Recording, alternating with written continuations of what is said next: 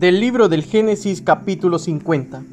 José se acercó a la cama de su padre, lo abrazó llorando y lo besó. Mandó después a los médicos que estaban a su servicio que embalsamaran a su padre, y ellos lo embalsamaron. Emplearon en ello cuarenta días, ya que este es el tiempo necesario para embalsamiento. Los egipcios lo lloraron durante setenta días. Transcurrido el tiempo de duelo, José habló a los principales de la casa de Faraón de esta manera. Si ustedes realmente me aprecian, les ruego hagan llegar a oídos de Faraón lo siguiente.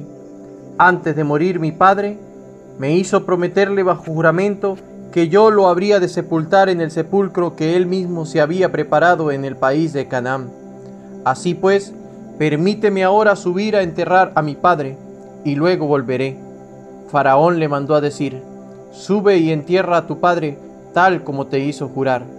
Subió José a sepultar a su padre y subieron también con él todos los oficiales de Faraón, los principales de su familia y todos los jefes de Egipto, así como toda la familia de José, sus hermanos y la familia de su padre. Tan solo dejaron en el país de Gosén a sus niños, sus rebaños y demás animales lo acompañaban además carros y soldados a caballo, lo que hacía que fuese una caravana muy considerable. Al llegar a Gorén Atat, que está al otro lado del Jordán, celebraron unos funerales muy grandes y solemnes. Estos funerales que José celebró por su padre duraron siete días. Los cananeos que vivían allí, al ver los funerales que se hacían en Gorén Atat, se dijeron, estos son unos funerales muy solemnes de los egipcios. Por eso aquel lugar se llamó Abel Misraim, o sea, duelo de los egipcios, que está al otro lado del Jordán.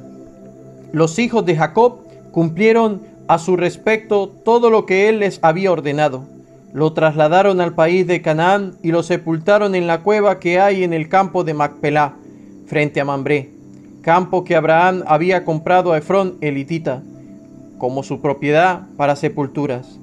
Después de sepultar a su padre, José volvió a Egipto con sus hermanos y con todos los que lo habían ido a acompañar en el funeral de su padre. Al ver que había muerto su padre, los hermanos de José se dijeron, tal vez José nos guarde a un rencor y ahora nos devuelva todo el mal que le hicimos.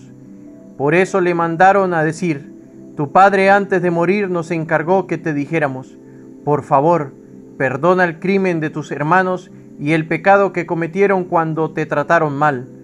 Ahora debes perdonar su crimen a los servidores del Dios de tu Padre. José, al oír este mensaje, se puso a llorar. Sus hermanos vinieron y se echaron a sus pies, diciendo, Aquí nos tienes, somos tus esclavos. José le respondió, No teman, ¿acaso podría ponerme yo en lugar de Dios? Ustedes quisieron hacerme daño pero Dios quiso convertirlo en bien para que se realizara lo que hoy ven, conservar la vida de un pueblo numeroso. Nada teman pues, yo los mantendré a ustedes y a sus hijos.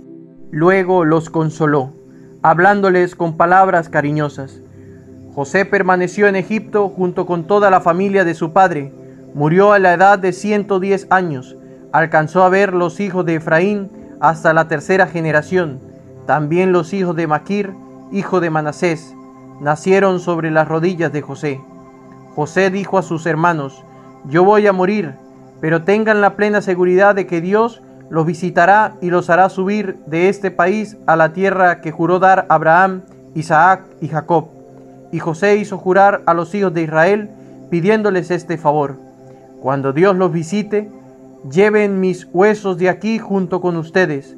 José murió en Egipto, a la edad de 110 años, embalsamaron su cuerpo y lo colocaron en un ataúd en Egipto.